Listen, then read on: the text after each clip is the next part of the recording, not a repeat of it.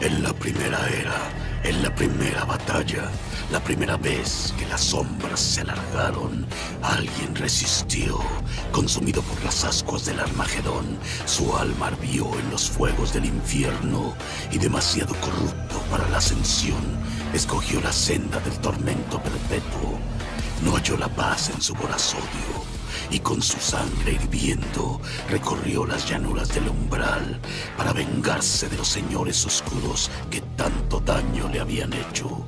Portaba la corona de los centinelas de la noche y los que probaron su espada le llamaron asesino de la muerte.